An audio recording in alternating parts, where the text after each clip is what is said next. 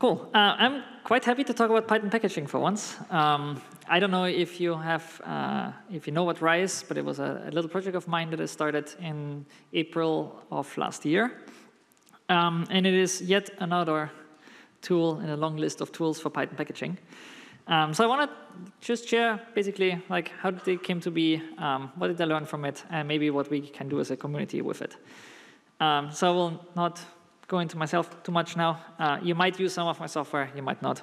Um, but the key part is that I actually built a lot of it uh, 10 years ago and then just didn't do that much Python anymore. Um, but why? Um, so I, I, got a little bit burnt out uh, on, on Python software. Um, and I, I also started to pour a lot of my time into Sentry, which is the company I work for. And through that company, um, and also through that this Python 2, Python 3 transition that I didn't enjoy all that much, um, I, I, started looking quite a bit into Rust as a programming language. And of course, it was kind of modern and new and everything. Um, so I, I, I, kind of fell in love with some elements of this. And so I wrote a lot of Rust code in the first couple of years at Sentry. If you're not familiar with Sentry, I'm not going to bore you with it, um, but it is entirely written in Python with some Rust code in it, obviously. Um, it is an application monitoring tool. And I have spent 10 years working for this company, basically, at this point, which is the longest before that I worked on anything. Um, and through that, I still stayed, even though I didn't write that much open source Python code, very much in contact with Python day to day. Um, so, quick detour to Rust. Um, the tagline of Rust is a language empowering everybody to build reliable and efficient software. Um, it's a little bit of a lie because everyone will not enjoy Rust. It's very complicated compared to Python. Um, but what is interesting is that you're really surprisingly productive writing Rust code if you sort of sit in the kind of space of Rust where Rust is actually productive. Um, there's a lot of stuff that probably you would really hate if you have never used Rust before, but there's a certain set of it that is really good. And the main reason a lot of people, myself included, like writing Rust code is the developer experience is really great. Um, and to give you an example of this, syntax uh, autocomplete in most editors works really well. Um, uh, packaging is solved for once. Um, there's, there's just a lot of stuff that works really well, and it does it to such a high level of quality and cohesion in the, in the community that it just sets like, oh, like is possible. Like you can build stuff like this. Um, and also, like what what drawn me to it was like the language really strongly encouraged backwards compatibility, but it also had a very strong urge to enable innovation and progress. So it sort of the, the, in, when I started using Rust, there was actually a huge fear of Rust making the same mistake as Python 3 migration did, where it's like, how can we prevent this from happening? That was like a really big thing at the time. Like, what, what affordances do you have to put into the language to make a future Rust 2 uh, uh, real reality without everybody having to rewrite the code or doing a painful migration? So I want to take you back in time a little bit to around 2014. Um, I guess I mentioned I picked up Python roughly at the, uh, Rust roughly at the time of Python 2 um, was still very active for me. Like, of course, a lot of people moved to Python 3 already, um, but um, professionally, I used Python 2. And what is important is cargo wasn't a thing yet. Cargo is this sort of tool that is a packaging manager. You can think of it as like pip for Rust. Um, but it slowly came to be a thing. Um, and there were four or five competing tools at the time in the Rust ecosystem for what the best package manager should be. Um, there was an earlier cargo, there was a later cargo, there were a bunch of other attempts. But if you use Rust today, there's just one tool. And I want to cite PEP 20. There should be one, and preferably one obvious way to do it. Um, Rust has achieved that. Python didn't. And this is the continuation of this. No case is special enough to break that rule. Packaging definitely isn't a special case. Like in theory, there should be one and very one obvious way to do it. Um, and so I saw the light in the Rust community. Packaging doesn't have to be painful. Um, and not just this packaging solved there, it also has a bunch of really other interesting things. Like you never have to think about any more brew install Python. Uh, have you ever I don't know how many people use Windows here, but if you ever use the Windows 11 machine and you write Python in the console, the Windows Store pops up and tells you that you can download Python from the Windows Store too. Like there's so many different ways in which you can download Python. There's just one way to download Rust. And any version of Rust installs the same way on any platform. Um, and I can have one project that runs an older version of Rust and another project runs a newer version of Rust. I can test the beta version of Rust. It all comes automatically. And it's the same experience on Windows, Mac, and Linux. Um, part of my frustration with Python packaging over the years has actually been teaching it to other people. Um, and not Python packaging, but Python. And like even as you write a tutorial for Python packages, like how do I install a thing into something, you have to make one line for Windows because the activation script is in vm slash script slash activate, and on macOS and Linux is vm slash bin slash activate, and also with a dot in front. Like they, are all the sort of differences, like it's all different locations and so forth. Anyways, long story short, um, at Sentry, we have a tool. Uh, it's not it's open source, but we really can't use it for anything that just manages your Python developer experience for you. Um, it installs dependencies, it installs Python to your system, um, it uses pip tools behind the scenes. And the, the, problem of Python at Sentry was basically solved for the most part. Um, but I also had side projects, and I still wrote a lot of side projects in Python. And so for me, I had this little tool, never to be published, um, that just did the same thing as we had at Sentry, just for my own uses. And in 2023, I talked to a bunch of people, like that every company has their own little way of running pip tools. And I felt like, okay, maybe it's like nice to show people what, what kind of crappy thing I sort of hacked up that makes it work for me. Um, and the reason I never published this is this, um, right? Everybody's aware of this XKCD. Um, if there are like 14 competing standards and yet another one that rules them all, you're going to have another one of those. And so when I published Rye, I, I, actually announced it with precisely this comic because I said, like, I do not want to be yet another Python packaging tool that sort of piles up on top of that. Um, and funny enough about XKCD is that there's even one that specifically addresses Python packaging and Python installations. Um, so this is this is a problem that's like well known out there, right? So my only goal was to dominate, and if not to dominate, then something else should dominate, right? I just want it solved. I, I have no desire that my tool is going to be a solution for this problem. And so keep that in mind. I'm not going to, I'm not here to, to pitch Ryan you, right? What I'm here to pitch on you is this idea that we should solve this problem. Um, if you haven't used, sorry, does, I just want a quick show of hands. How many people have actually tried Rye? Very few people. This is perfect because I'm going to annoy you for like 22 minutes with a very short recording of what it does. Um, when you go to uh, the website, you can curl Rye to your computer. Um, it will just ask you four questions if you want to use the new fast way to install packages or the slow old way to install packages. And it automatically downloads Python for you, and it's there to run. Um, Basically, at that point, you can keep using your other Python that you have, but you can now go into any repository, into any folder. You can create a new project there with Rye in it, and it's going to use the version of Python it just downloaded. Um, it automatically installs your packages. It auto manages your virtual env. Um, you don't have to do anything anymore. You just start Python. You don't have to activate the virtual env. You just get access to the stuff. It just works magically out of the box.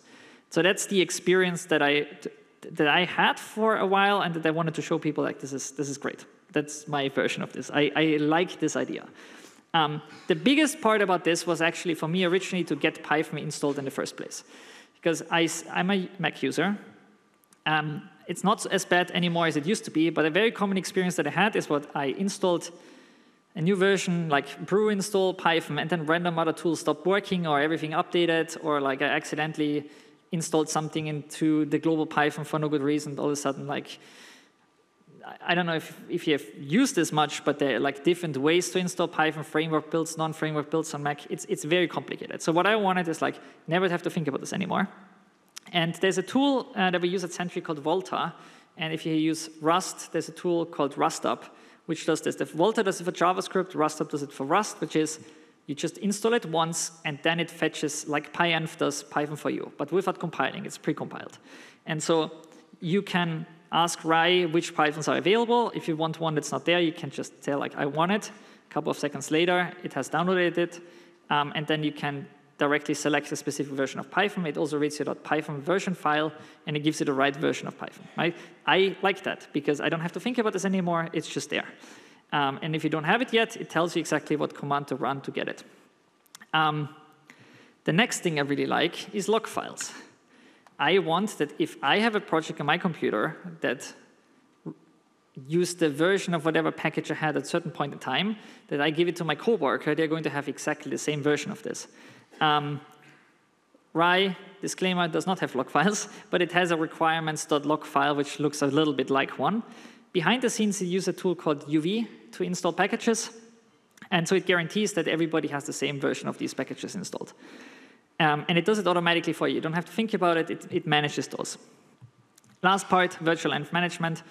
I have shown this a little bit, but basically, whatever command you run, so for instance, if you run rye at Django, it will add it to your PyProject.toml, but it will also automatically install it into virtual env. Um, so you can see like it is as a dependency in the pyproject.toml. And if you wipe away your entire uh, virtual env, um, it will recreate it. So it, like if you run Python in this folder, it automatically has the virtual env enabled. If you run rye sync again, you get it back, even if it deleted it. Like it's pretty straightforward. Um, and also thanks to UV, is very fast. Um, okay, so that's what I wanted. That was the experience that I wanted. Um, it's actually not that hard to build the initial experience. It's very, very hard to actually make it work well.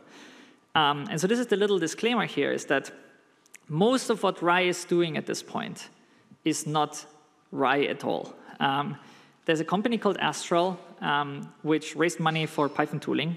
You might be familiar with one of the tools that they built called Ruff, which is a linter.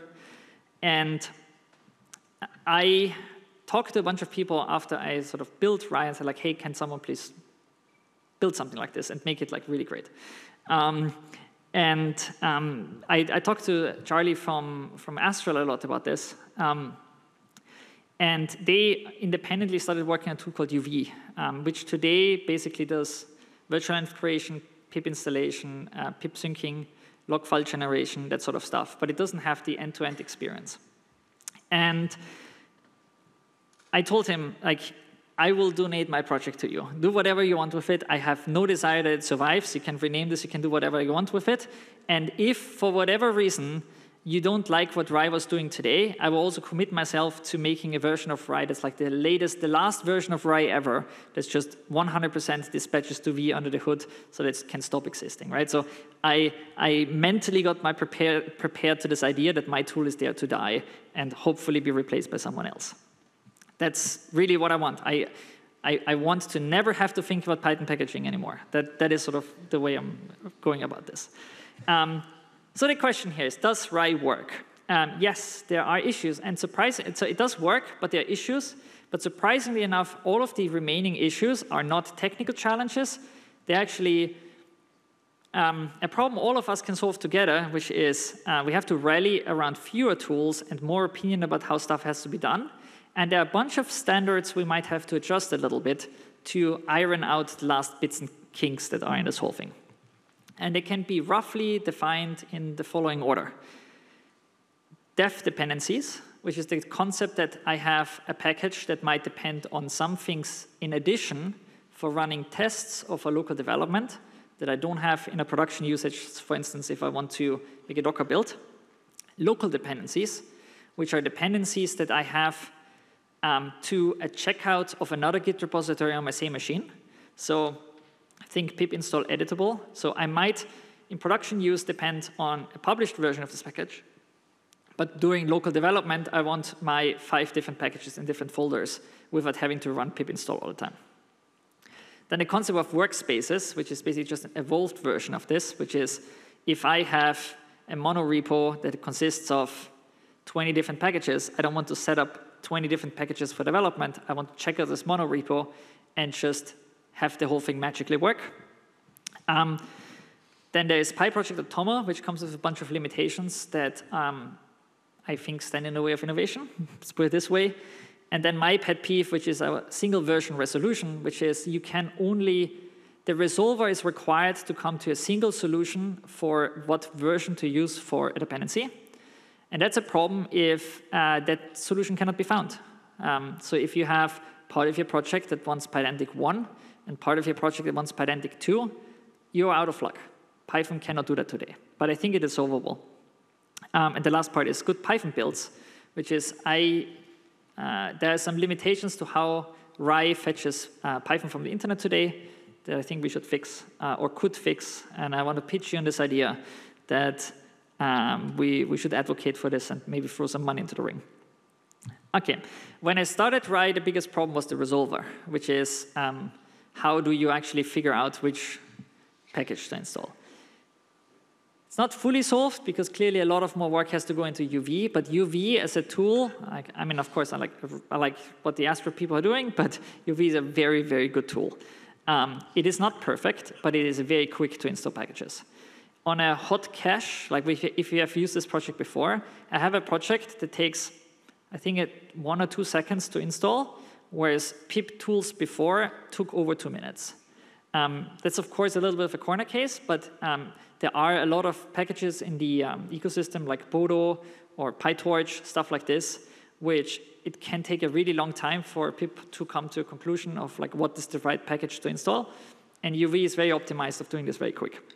So that problem is solved, and I think that is very nice. Mostly solved, I would say. But it is not anymore the biggest problem. The biggest problem now for me is actually dev dependencies. Um,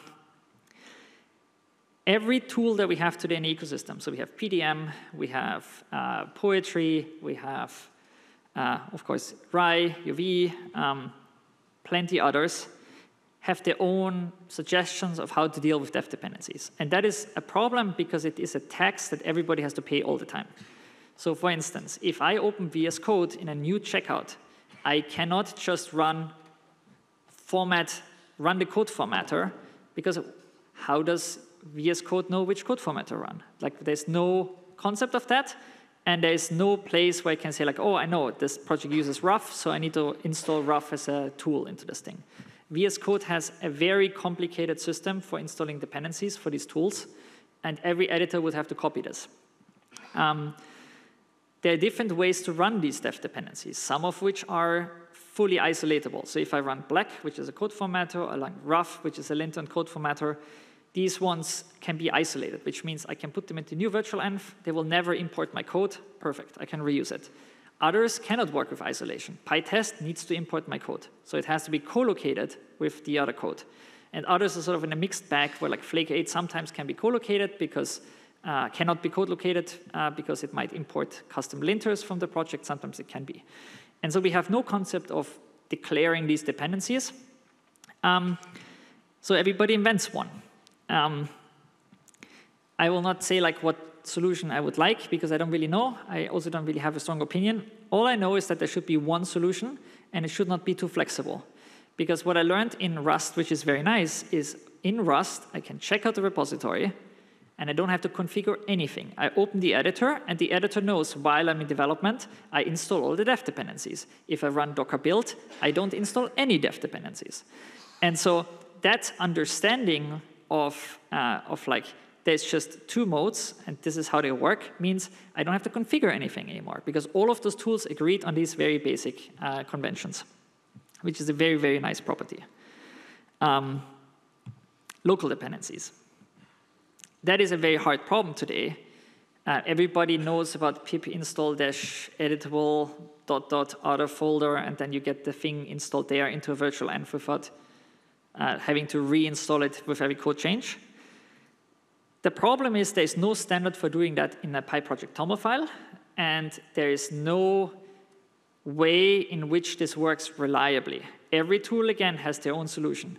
Um, Hatch uses curly braces in, with variables. Uh, PDM uses percent project root environment variable expansion. Um, some versions of pip allow you to pip install dot dot slash in the requirements txt file. Some tools that wrap pip, uh, pip cannot do that. They require file slash slash a bunch of other stuff. And at the end, it's a very confusing experience. And so some people know how to make it work, others don't. End result is just a very disappointing experience. And it really stems from the fact that we don't have a standard of saying like this is how dev dependencies should work. Um, my proposal that I would throw into the ring is that the way dev dependencies work, you really only have them, lo local dependencies work, you really only have them during development.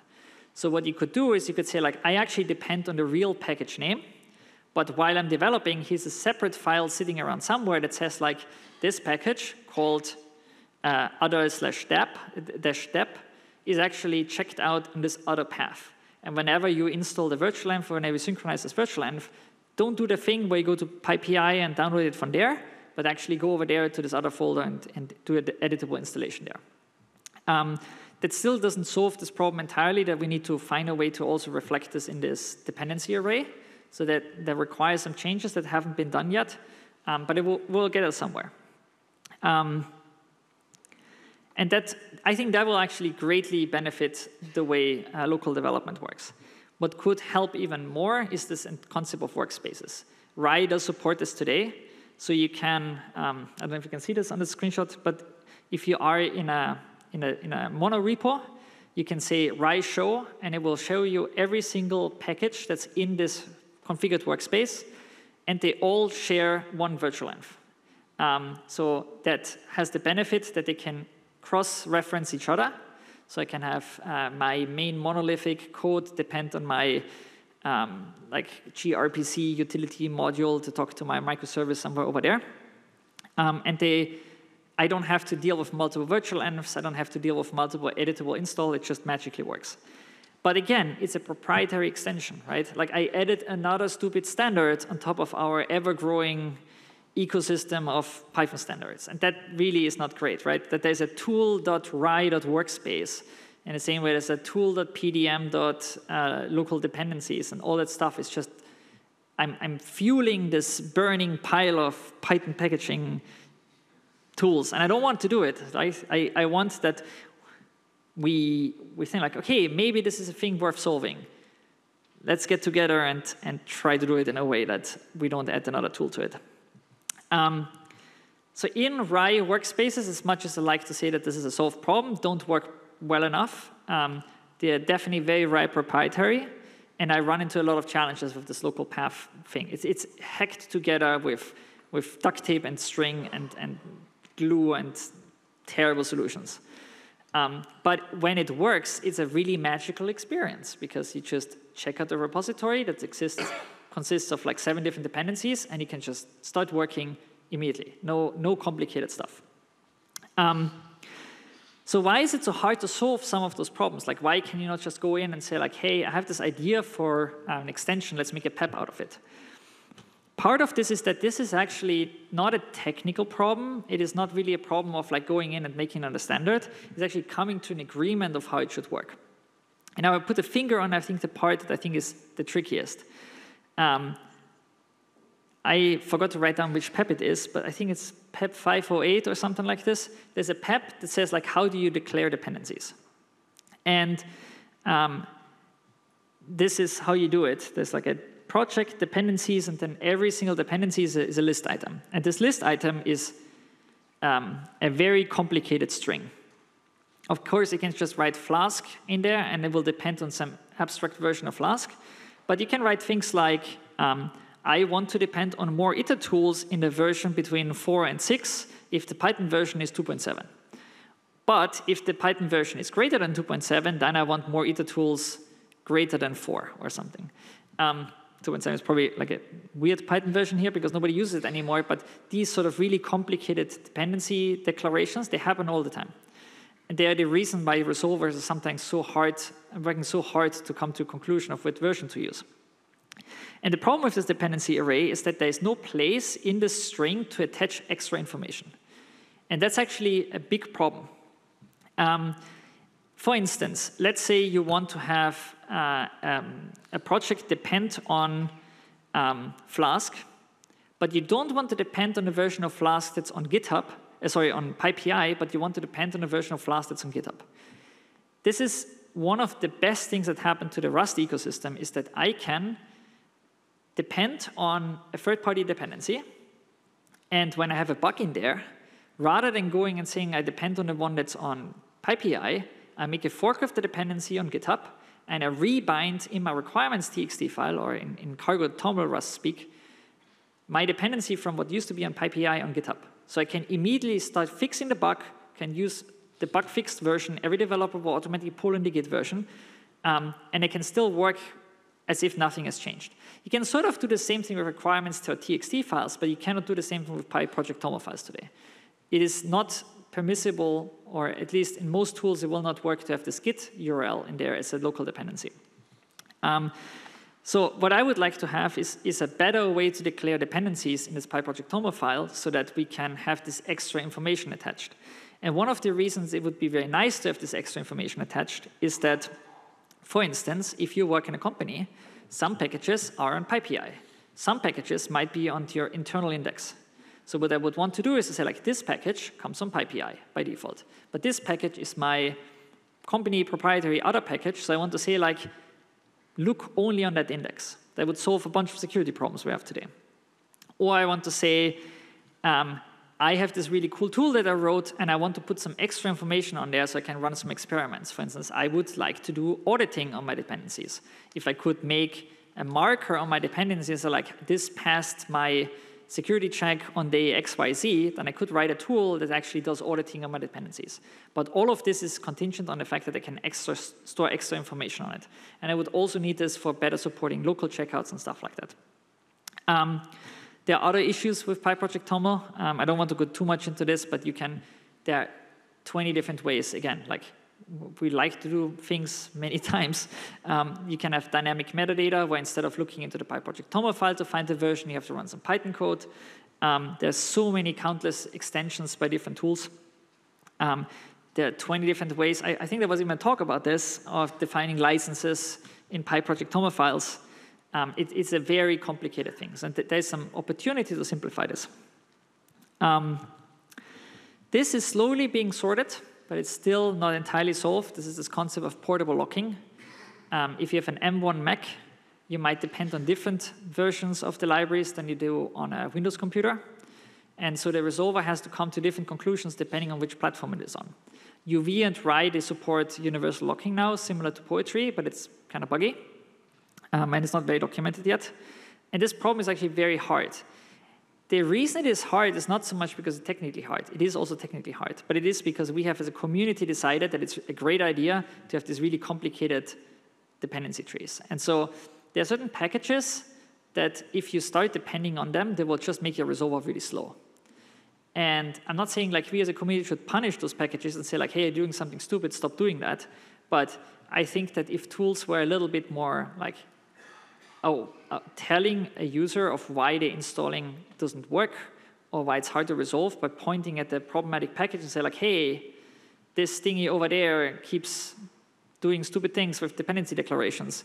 Maybe you should talk to the maintainer nicely and tell them um, there's a better way to do it by being like more specific with the dependencies, right? Um, because that would actually make the whole thing much better over time. Um, this would be the hardest thing to solve, but I do think it is solvable, which is to allow multiple versions of one library to be available. If you depend on version greater one and version lower than one simultaneously in your project, it is uninstallable. Um, you cannot come you cannot come to a conclusion of what the right version of this package is. Um, JavaScript doesn't have that problem. Uh, Rust doesn't have that problem either. Why do they not have that problem? They, have the, they don't have that problem because they say like it is actually okay for two separate versions to coexist in your dependency tree. So when you have dependency Flask, depending on, okay, Flask doesn't do it, but like say you have your project that depends on Pydantic 1, and you have this other library somewhere in a tree that depends on Pydantic 2 already, you don't have to um, say like, well, I cannot solve this because clearly they want different versions. I can actually say like this one sees the newer version, this one sees the older version. Now, I don't think it's a good idea in general to do that because then you have this massive dependency trees of like 20 different versions of Pydantic in your tree. But for transitional periods where I, as a library author, are moving my library from like 1.0 to 2.0, I might want to temporarily say like I'm in this migration phase where I am willing to subject my customer or my user to having two different versions of this in the tree. That would make these massive ecosystem shifts like Python 2 to Python 3, Pydantic 1 to Pydantic 2 be a much easier move because I can have both of the things at the same time. Um, there are challenges with this, right? Because like the APIs don't really support it. There's Sys modules, which does a bunch of really weird stuff that stands in the way. But I actually think that it is very doable. It is technically solvable. For just Python imports, even 13 years ago, I had a version of this that worked. Um, it's only running in Python 2, so you need an ancient Python to test it. Um, and it doesn't solve C extensions, which is a little bit of a problem now because we have so many of them, like NumPy, PyTorch, uh, Pydantic, uh, like all of this stuff. There's, there's a lot of Rust and C extensions. But I, but I actually do think that it is solvable. If we agree as a community that would be good to support that, at least in limited form, I think we could make it work. Um, last part, good Python builds. Um, there is a PEP called PEP 711, which proposes a standard for distributing Python binaries. Um, that is not uh, accepted PEP, and if I want to provide things like Rye fetch 3.8, where is Python 3.8 coming from? I'm telling you, it's not coming from python.org. Why does it not come from python.org? Because the Python you can download on python.org is not qualifying for the needs of what Rye has, um, which is automatic installation. I can place it at a random location on the disk. And long term, I would love that Rye could also just create a reusable package of just my application plus Python that can throw in a, maybe not USB stick, but like somewhere where I can give it to another person that never used Python in their life and run it. So what it needs is a portable Python build. Um, there's a, so how does Rye accomplish that if you can't find this Python python.org? Um, it goes to GitHub, goes to repository by uh, a person named indygreg. Uh, his actual name is Gregory, I forgot his last name. Um, and he, he is the one person in Nebraska, he's not really in Nebraska, but he's this one person that builds every single Python version for every single architecture. Um, and I can download it from there. So I can get 3.8.2 for ARM64 on that thing. And I can get it for Windows, I can get it for Linux, I can get it for all of that. But it's run by a single person. And the thing is, it's not just Rye depending on this. I know that there are companies who gave up making consistent, Sentry for instance, consistent Python experience, and we also use those indygreg builds, right? So it's, it's getting to the point where like some people are discovering the benefits of this, but it's sitting on the shoulder of one person, which is not ideal. Um, so that is a thing that I think like if, if, if I can only wish for one thing, it would actually probably be this. Like give me the Python as a binary I can run and, re and use and, and automatically install. It would be really nice. Um, however, long story short, I'm actually very optimistic about thing because I feel like we're very close to solving it. Technically, I feel like Python packaging at this point is mostly solved. And not because of Rye, but because of all the work that went into this whole thing over the last couple of years. Um, PyProject.toml, great improvement of setup.py. Um, metadata available for resolvers to use, tremendous improvement. Like that stuff like UV actually can install dependencies that quickly has been the work of a lot of people that made this metadata information available on pypi.org. Um, generally speaking, the improvements to the build system infrastructure underneath the hood has enabled a lot of this functionality. Wheels are there. Like a couple of years ago, wheels were still not widely um, used. So all of the bits and pieces underneath are there to make all of this work. What actually stands in a way is, is us as a community. Um, I feel very strongly that at this point, and again, I will very clearly say that I do not think that Rye has to be the solution for this, or maybe sh even shouldn't be the solution. But I think it would, it would be great for us as a community to say, like, hey, we actually want this one experience that is, I go to Python, I download this meta thingy, and that's all I have to do. It gets Python to me, it, it installs my packages, it can, it can publish on pypi.org, maybe we can publish on a private index. It, there's one command to run the tests, there's one command to create my virtual env, and I don't have to read 20 different guides anymore and 15 different tools to make it run. And I feel like we're very close to that. Um, we are very close to that because there are so many tools that sort of showing up as being like the blessed tool underneath the hood that we can start using, right? Rye never implemented the resolver itself. Rye used pip tools because at the time I felt like pip tools was the best tool to use for that. And now I think UV is a better version of it because it's the same thing, just faster. But it, Rye didn't do anything at all. It was a crappy version of uh, like a little Rust program that just cobbled together stuff from other people. And so all these tools are there. We just need to package them up in nice reusable things and say like, this is the way for you to run it. Um, the last thing I'm going to say on this is this is sort of a lesson that I learned uh, in multiple times over the years, which is when you point at the flaw of something, um, there will always be someone addressed in it. Um, I do the same thing. Like someone points at the bug in a thing that I built, and like, all right, I got this, I will fix it. That's a little bit of a problem because that implies that when I when when someone tells me like this is a problem, and I feel like ah, I'm going to fix it, and it's like that's the last time I'm going to talk to you. Maybe I don't actually have enough context to fix this problem. Maybe the problem is bigger than I am, and I, I see this a lot with, with Python packaging. Um, we have I don't know how many different groups of people that are trying to solve Python packaging. And whenever I see conversations about like, hey, it would be great if this does this, everybody runs off and solves it on their own.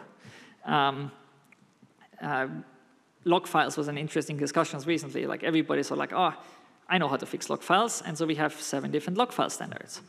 Um, the, uh, like this cargo or cargo for Python, three different people working on it on their own, right? Um, Hatch tries to do it, Rye, of course, tries to do it, UV tries to do it. So we, we're all guilty of the same thing, which is like everybody feels for themselves like I know exactly how to solve it. And what actually I think the problem here is that like this is not a problem of technology, this is not a problem of finding solutions, this is a problem of creating the necessary desire that this would be great and sitting together in some sort of productive kind of environment and saying like, hey, what should this look like so that we can have the same sort of experience that you might find in Rust and else.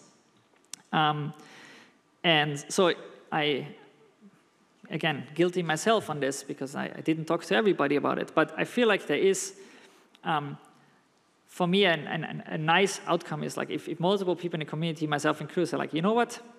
I've worked X amount of time on this tool here. I'm actually okay with it slowly being replaced by something else. And we all work together on making this thing work um, a little bit better. So that in the end, a new Python programmer stepping into the world of Python finds a very consistent experience everywhere, never has to think about any of this anymore, and just can focus on solving actual problems and not uh, Python packaging. And that's basically it. Um, I will throw up some links if you want to play with it. Um, I feel like it shows a little bit where Python packaging could go. And I, I, really hope that maybe in a year or two from now, we all feel like now we can worry about other things um, that maybe are more important than packages. And if there are any questions, I'm happy to answer.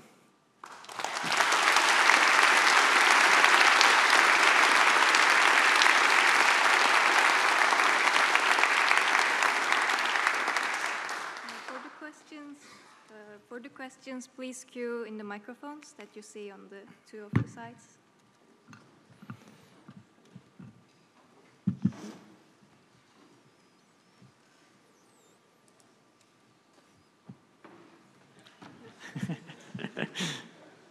okay, that was a long walk, but uh, anyway, so what do you think about the security implications of this? Like many people would say just putting in curl and downloading something and running it. It's a bit of a security flaw. And also, how do that work in a corporate environment where maybe you don't have a firewall access yeah, to actually so download you don't, you don't public. have to curl to bash anything. Um, you can go on GitHub and download the thing directly. Um, in general, I think that there's actually not that much wrong with, um, for a start, curl to bash, because the actual problem is that everybody just nearly willingly downloads random packages from the internet to begin with. Um, uh, setup.py pip install can run anything on your machine. And um, what we should actually probably be figuring out, there was a panel on open source sustainability, is figuring out how to make the life of individual maintainers really well so they are not the people you have to worry about. Um, because if I'm an overworked open source maintainer, the biggest risk I'm going to pose on you is my personal security, where someone might get access to my package and republish it. So I, I would worry a lot less about, hypothetically, if Python, the Python Software Foundation would provide this Python installer, that that is compromised compared to, I don't know, your random package from Nebraska being uh, attacked. And so I think it would work just fine in corporate environments because you can at any point in time um, do all the things that it downloads manually from uh, other source. You can rehost all of the binaries if you want to. One more minute. So if you if you can, yeah. Yeah, Okay, just yeah. go quickly. Um, so the, uh, the, when installing a uh, Python interpreter, um, like the requirement to have a version pinned version of the Python interpreter um, is a real requirement, but it applies across, across languages. So is it realistic that every language, and, and even things that aren't languages, are going to have to have a system uh, like Cargo or Rye, uh, or uh, is there more mileage in tools like uh, ASDF and mise that install tools across languages with version pinning, uh, but don't do anything with the packages? So um, I came back and forth on this, and I'm now strongly believing that this should be solved language by language independently, because the needs of those languages are so different, and it's very hard to have a one-size-fits-all tool that deals with this externally. Um, just as an example, Tox is a great tool. It can run tests against multiple Python versions at once. And so it in itself wants to find different Python interpreters. And if it now has to work with like, how do I do this on Nix? How do I do this on something else? It sort of permeates this complexity everywhere. So I think it's easier to say like, well, we're going to solve it for Rust, we're going to solve it for Python, we're going to solve it for JavaScript. And most of those ecosystems have already done that. All right, thank you. Sorry, we're out of time. Oh.